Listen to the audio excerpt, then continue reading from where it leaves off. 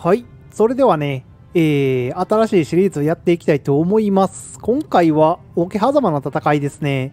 ここの松平家でやっていきたいと思います。まあちょっと要望があったんでね、まあ、ちょっと面白そうなんでやってみようかなということでやっていきたいと思います。ちなみに松平家なんですけど、最初から選ぶことができなくてですね、まあ、この今川家を選択して、あのー、初めて速攻、えー、桶狭間の戦いが起こるんで、それでね、分裂した後に選ぶことができるんで、まあ、とりあえずね、今川家でやっていきたいと思います。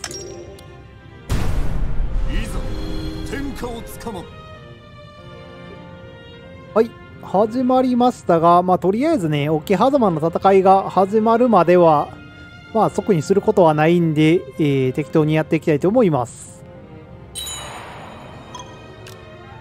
はい。桶狭間の戦いがね、起こりまして、今川義元が死去し、今川家が分裂しましたということで、ここでね、松平家を選ぶことができます。まあ、後の徳川家康ですね。はい、やっていきます。いつか天下をこの手にさて、これでね、進めていくことが、まあ、ようやくできるっていう感じですね。まあ、あのー、今回、桶狭間の戦いがね、起こった関係で、えー、松平家が独立したっていう、まあ、イベントが発生しましたと。で、えー、小田家とね、今停戦状態にある感じになってます。で、まあね、これからイベントをいろいろ発生していくんですけど、まあね、近々この清須同盟が、えー、発生する形になってます。あと半年ぐらいかな。だったら、えー、このイベントが発生して、まあね、えー、小田さんと同盟ですね、婚姻同盟を結ぶような形になりますと。で、まあ、イベントについては、まあ、できる限りやっていこうかなとは思うんですけど、まあ、そこまで無理せずっていう感じでいくと思います。で、まあ、今、なんていうんですかね、まあ、とりあえず始まったばっかりなんで、まあ、軽くね、武将を見ていきたいと思うんですけど、まずは、えー、松平元康ですね。まあ、後の、あれですね、徳川家康さんですね。まあ、かなり能力高いんで、まあ、そこまで苦戦するっていうこともないとは思うんですけど、まあまあ、なんとも言い難いっていう感じですね。あとは、酒井忠次さんとか、えー、榊原康政さんとかいますね。まあ、馬術持ちがいるんは結構ありがたいですね。高原持ちがいるんもまあまあありがたいんですけど、まあ、今、ん、あって、すぐ役立つかっていうとちょっと微妙なところではありますね。あとは、コ力さんですね。まあ、年齢31歳なんですけども、グラフィックがおじいちゃんのグラフィックになってますね。あと、まあ、基本的に、あれですね。まず、あの武将に関しては能力高い武将が多いんで、まあ、そこまで苦戦することもないと思いますね。服部半蔵とかね。いますね。服部半蔵がいると確か、そうですね、所属する、えー、城の調略を無効化できるっていう特性持ってるんで、まあまあね、役立つ武将になってます。ただ今、組頭なんで、もうちょっとね、強くならないと使えないかなっていうところはありますね。あとは他の武将もやっぱりまあ全体的に能力高いですよね。まあ、それでまあ現状なんですけど、どうなってるかというと、まあ、小田家と停戦状態にあって、まあ、他のところとはあんまり特に何かなってるっていうこともないですね。まあ、一応接してる斎藤家は六角と同盟を結んでまして、で、ここの今川家ですね。今川家は武田家と北条家と、えー、同盟を結んでるっていう形ですね。で、武田家は、えー、こっちの神保家かなと同盟を結んでる形になってます。まあ、あのー、最初から城が1個しかないみたいな状況じゃないんで、まあ、割となんとでもなるっちゃなるんですよね。武将もそれなりに強いし。まあ、ただ一番最初結構厳しいのがですね、まあ、あの、今川家とこの武田家と接触してしまってるんで、結構ね、攻められる感じの立地になってるんで、それがきついかなっていうところはありますね。まあ、ただ武田家の進行はそこまでルートがないんで、まあ大丈夫っちゃ大丈夫やと思うんですよね。まあまあ、あの、合戦を駆使していけば、まあなんとかなるかなっていう感じですね。まあ最初はね、とりあえず、あの、内政していくしかないんで、あの、パッパとね、内政していきたいと思います。まあ最初はね、どっちにしろ、軍開発をね、やっていくのが最初なんで、あの、最初というか、まあまあセオリーなんでね、とりあえず軍開発をやっていきたいと思います。まあここのね、大農村があるところに関しては、あのー農村をね、上げていくような形でいきます。あと、他のところは何でもいいんですが、まあ、ちょっとね、収入とかも欲しいんで、まあ、大農村とね、この1とね、半分ずつぐらいになるようにやっていきたいと思います。まあ、あとはね、いつも通り、この大火炎配置でね、自分が、こう、作ってほしいやつが出るまで粘っていくっていう形ですね。この入り合い値は結構いいんでね、最初は当たりっていう感じですね。まあ、それではここら辺ね、頑張ってやっていきたいと思います。はい。あれからね、えー、半年ぐらい内政しまして、今、岡崎城のね、内政がほぼほぼ終わった形になってます。こんな感じになってますね。大農村も2つあるんで、まあ、かなりね、兵力的には多い感じになってますと。で、まあ他のところもまあ配置はできてるんで、まあぼちぼちね、内政やってってる感じにはなってますと。で、まあ全国的にはね、ちょこちょこ動いてってまして、まあここら辺神保家がね、持ってた城が取られてたり、あと、織田がね、ここの長島城と、えー、亀山城ですね、を取ったりしてて、まあ六角がもうだいぶ厳しい感じになってたりします。で、まだ、あの、清津同盟とかは起こってないんですけど、ちょっとね、城をさすがに内政終わったんで取りに行きたいなっていうのがあるんで、ちょっとここのね、吉田城あたりをつつきに行こうかなと思ってます。まあ、それでですね、まあ、そのつつきに行く前にですね、政策をね、制定していきたいんですけど、今、あれですね、うーん、身分が、あー、大名、あれですね、大名しか内政できないんで、今ちょっとやってるんで無理ですね。まあ、この旗本、なんて言うんですかね、先手役かな。これが徳川家の、なんていうんですかね、こういうの政策になってまして、まあ、ちょっとね、部隊の能力が上がったりするんで、まあ、制定しておこうかなと思ったんですけど、うん、まあちょっと、またそのうちやっておきましょうか。あとは制度改新もそのうちレベル1にはやっとこうと思います。まあ、威風をね、できたら起こしたいんですけど、松平家じゃない、あの、ここの今川家って、あの、武田と北条と、まあ、同盟してまして、まあ、攻めれる先ってうちしかないんですよね。まあ、うちかもしくは北畠ですね。ここに行ったら、まあ一応可能性としてはあるんですけど、まあ多分こっちに行くことは今んとこなさそうなんで、まあ、ほぼほぼターゲットうちだけになってるっていう感じになってますね。で、結構、あの城があって守らないといけないところもかなり少ないんでね、まあ、頑張れば威風の中は発生させれるかもしれないんですけど、まあちょっとね、ここら辺は状況次第っていう感じなんで、とりあえずちょっとね、まあ、ブラブラさせながら舞台を出発させていきたいと思います。まあ、かなりね、えー、細切れというか分けて出陣させることになると思います。多分、どれぐらいやろ ?1、2、3、4部隊ぐらいには分けて出陣する予定になってます。遅れてはならぬそれではちょっとね、状況を見ていきましょうか。さて、えー、プラプラしてたらですね、まあ、結構釣れまして、8部隊も来そうな感じなんですよね。まあ、さらに、来るっちゃ来るんですけど、8部隊以上はいてもあんまり仕方がないので、8部隊揃った段階で、戦ができたらなっていう感じですね。こっちもだいぶ兵力集めてきてるんで、多分負けはしないと思うんですけど、うーん、これは大丈夫か？ちょっと思ったところと違うところで合戦が起きそうですが、はいはい。あー、でも結局10部隊入っちゃいましたね。うーん。結構兵力差ありますね。これは大丈夫か？うん、まあ、能力差もあるんで、なんとかしていきましょうか。まあ、ちょっと頑張りましょう。まあ、できたら8部隊でしたかったんですけどね、ちょっと、うん、計算外ではありますけど、やっていきます。はい、勝利です。はい。まあ、なんとかね、能力差でなんとか勝つことができました。まあ、ただ、やっぱり結構ね、突撃とかないんで自利品な感はありますね。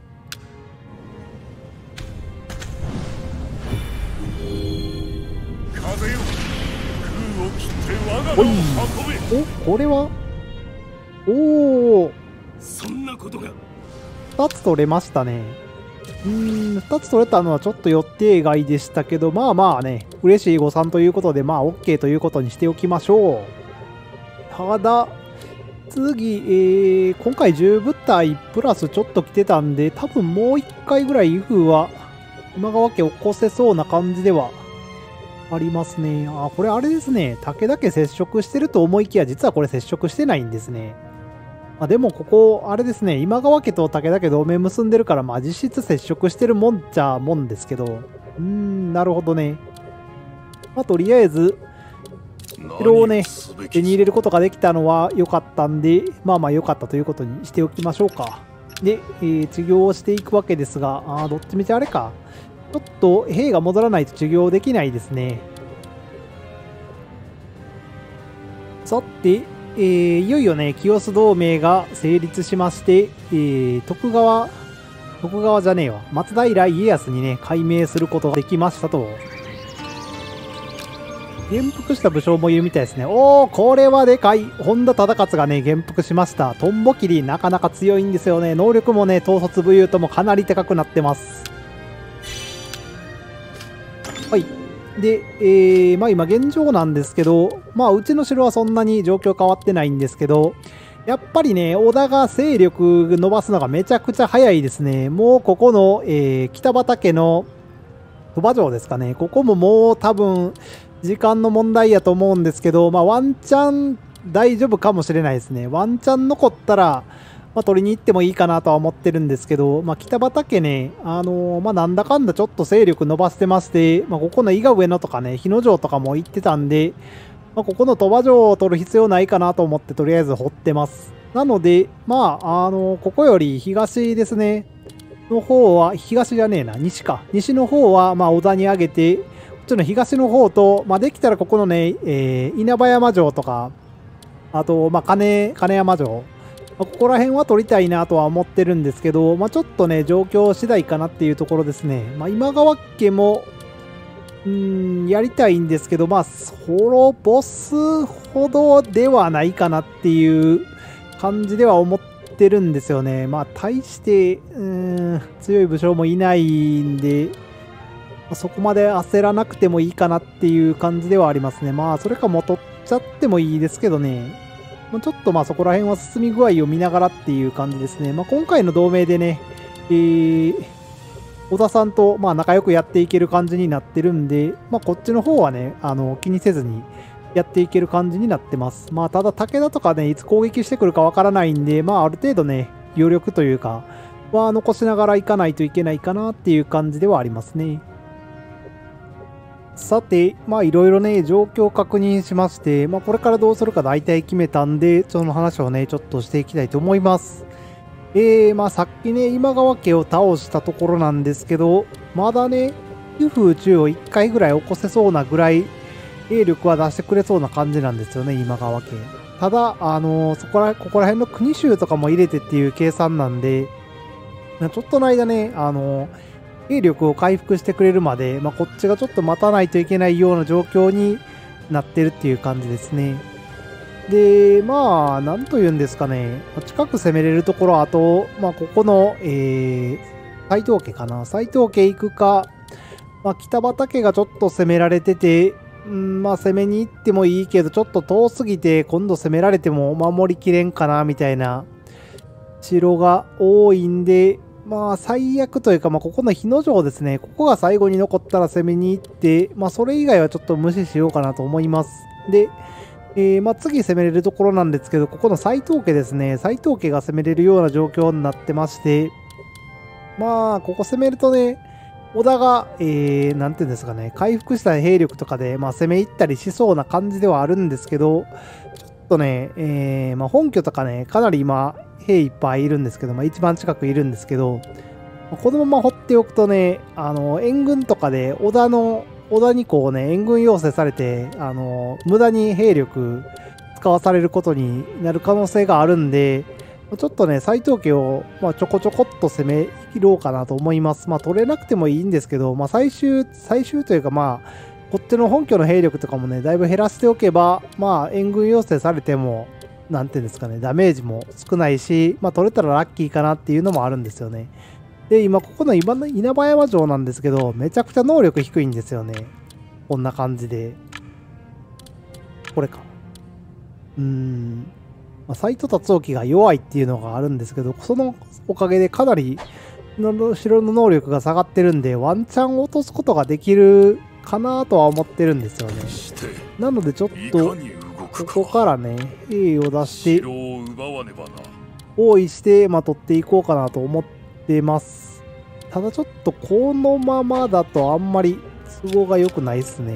えっと、大官の配置だけ変えときましょうか。榊原さんは、あの、家康の下につけたいんですよね。なんで、あ、ここら辺はあれか。なので、おっと、こんな感じで、行きましょうか。えー、っと、これでいけるはず。これと、あと、あれですね、えー、本田さんの舞台ですね。に分けて出陣していこうかなと思います。まあ、なんて言うんですかね、えっと、敵の城を奪ってくれる。と、ちょっと待てよ。これ、ああ、階級の問題で、あまあでも能力的にそんなに差はないんか。これ、本田さん出すってなったら、ああ、どっちがいいんやろ？平数か。あ、それか、あれか、大官、他のやつ抜いちゃうっていう、そういうのもあるか。これでいきましょうか。これで出しちゃいましょう。これでいいでしょう。はい、これでいきましょうか。まあ、で、ちょっと足りなかったら、途中で兵出していくみたいな形になるかな。ここの国衆ぐらいも出しておきましょうか。さて、これでいきますか。まあ、一応、なんて言うんですかね、榊原さんを家康の下に入れたっていうのは、まあ、理由がありまして、なんと言うんですかね。まあ、騎馬突撃が、まあ、仮にですけど、なんて言うんですかね。えー、まあ、5なかったとしても、まあ、あの、ないよりはマシな状況なんで、まあ、一応入れたっていう形ではあるんですけど、これは結構来てんな。いや、これあれか、暗証城からも出した方がいいか。1、2、3と、えー、5、6、7、8。8部隊来てる。1、2、3、4。あー。これ、どうしよう。うーん。まだ。ちょっとこの部隊だけ出すか。ちょっと間に合うかわかんないですけど、間に合わなかったら途中でちょっとプラプラさせながら様子見ましょうか。まあ、威風中が起きるんであればその方がいいんですけどね、まあ、ちょっとどうなることやらっていう感じですね。だって、まあ、近くまで来てるんですけど、まあ、案の定と言いますか、信長が金城城に行ってますね。うーん、まあ、こうなると多分、威風中起こせないと思うんですよね。ああ、一部隊向かってますよね。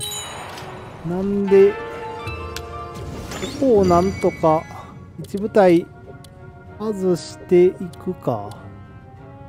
うまいこといけたらいいんですけどね。うまいこといくかな。あ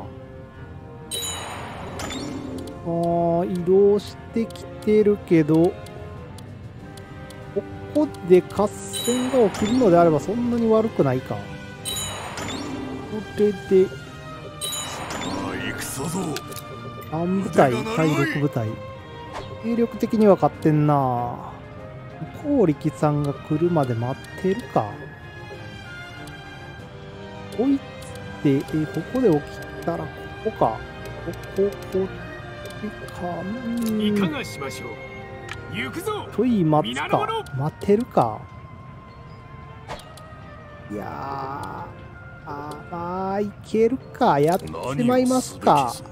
やっちまいましょうはい勝利です。はい。なんか思った以上に余裕で勝てましたね。まあ、突撃がうまくいったのもあるんですけど、まあ、相手国衆とかも多かったんでね、かなり余裕で勝てましたと。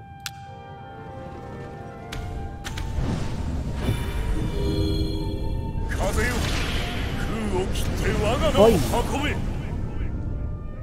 これで稲葉山城の軍はほぼ取ったんかな？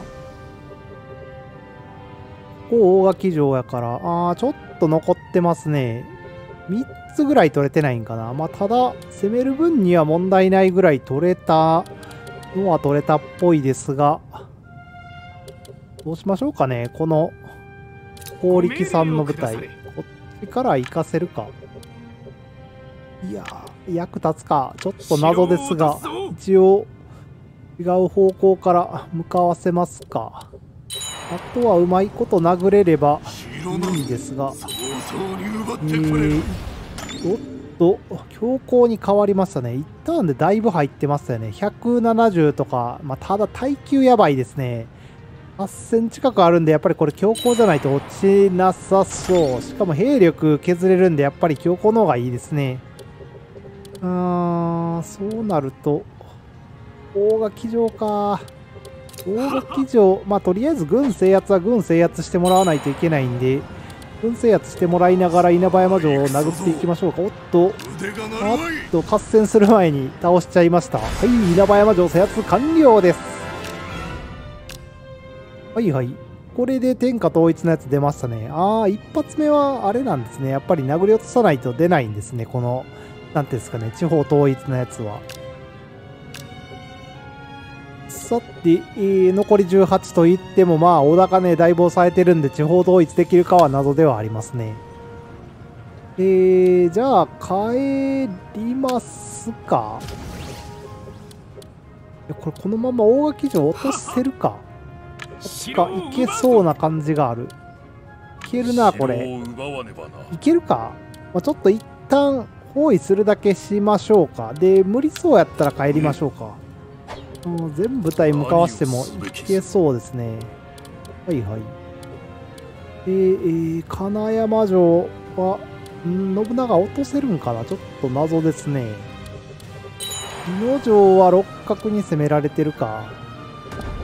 うーん、どうしたもんか。まあ、あれですね、ちょっと、大垣城無理かもしれないですね。この稲葉山城、威風で、あの、近くの軍を制圧したんで、ちょっと時間が足りないかな。兵糧が間に合わなさそうな気もしますが、ここら辺は状況次第か。360とか入ってましたね。ってことは、どれぐらいや ?1 ヶ月じゃ落ちんな。1ヶ月？いや、もっとかかるか。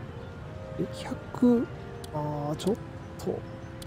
ちょっと削れるだけ削りましょうか。どっちみちある程度こっちの兵もね、削っておきたいんで、援軍の要請とかされた時にめんどくさいんでね、まあ殴れるだけ殴っていきましょうか。はい、今んとこ順調に殴ってってるんですけど、城の耐久より、あれですね、兵がいなくなりそうですね。はい、兵がいなくなったんで、速攻取れましたと。はい、大垣城制圧完了です。はいはい、めちゃくちゃ順調。うん、まあまあ解放していきましょう。噂に聞くより寛大な方ですね。さて、さすがにもう帰りましょうか。えー、これなんですけど、どうなってるんや？あー。小田と浅井が結んでるだけやから、うちと浅井は別に特にどうとこうということはないんか。あー、まあ、とはいえ、ちょっと、ここは小田に親善とかもしていきましょうか。ちょっと、誘拐してもらうことになるかもしれないんでね。あー、これ浅井攻めてくるかな攻めてきたら攻めてきたでいいんか。いや、良くないような気はするけど、まあ、とりあえず、あの、様子見するしかないですね。まあ、できるとして、ちょっと兵を、ここに残しておくかどうかぐらいの話ですよね。なんで、ちょっと、だったら勝つだけ、ちょっとだけ残して、他は返す形でいきましょうか。だって、一旦部隊も撤退させまして、ここにね、まあ、本田忠勝だけちょっと残して、まあ、今ちょっと様子見てる状態ですね。ちょっと時間差で撤退させて、まあ、まあ仮に攻められたとしても、ここの岡崎城からね、援軍をくれるような感じにしときたいと思います。で、なんですけど、まあ今、全国的な状況、こんな感じになってまして、まあまあ、まだまだ混沌としてる感じではあるんですけど、東北がいつも通りですね、えっと、南部が、結構でかくなり始めてたり、アントいたり、えー、伊達がいたりみたいな感じなんですけど、まあ、いつもの流れで言ったら多分伊達がここの東北を抑えるんでしょうね。で、上杉がいて、ま、関東はいつも通り北条が抑えてるんですけど、今回かなりあれですね、武田がでかくなってるんで、ちょっとどうするかっていうところはありますね。まあ、なんとか上杉に抑えてほしいところではあるんですけど、まあ、うまくいくかどうかっていうところですね。で、まあ、機内は大体三好が抑えてたりするんですけど、ここからね、三好かなり弱体化していくんで、まあ大丈夫かなっていうところはありますよね。で、まあここら辺の機内とかはね、まあうちも関係あるんでちょっと気になるところではあるんですが、まあできたらね、北畠を最終吸収したいんですけど、まあこのまま織田が攻めていくと落とされちゃいそうな感じはありますね。もう日野城もあともうちょいで落ちそうなんで、まあ、ちょっと希望は薄いですが、まあね、これからちょっと要観察っていう感じですね。で、ここから西に行くと、まだ四国は完全に雌雄が消してるわけではなさそうですが、まあいつも通り、上祖壁がでかくなっていきそうな感じではありますね。あと中国地方は毛利が抑えてると。で、九州はまだぐちゃぐちゃしてますけど、まあ最終的にやっぱり、今塚大友が取っていく感じになるんでしょうね。竜宗寺も結構でかくなってますね。で、まあ、今後はあれですね、まあ、できたら斎藤家を吸収したいんですけど、まあ、イベントでね、あの、小田家が斎藤家を吸収するっていうことがあるんで、まあ、ちょっとそこら辺は様子を見ながらっていう感じですね。まあ、ここら辺ちょっと、現在吸収できないとかなりきついところはあるんで、吸収したいんはしたいんですけど、うん、なんとも言えないかなっていう感じですね。で、ある程度ここの斎藤家がおあの収まったらというか、まあなんとかできたら、まあ今川家に攻め入るタイミングにもなってると思うんで、そのタイミングでまたね、今川と戦争はしていきたいと思うんですけど、まあここら辺の取り具合がね、ちょっとかなり怪しくて、ここ斎藤の家、あの斎藤家の城を取ってしまうと、あの、武田とめちゃくちゃ接するんですよね。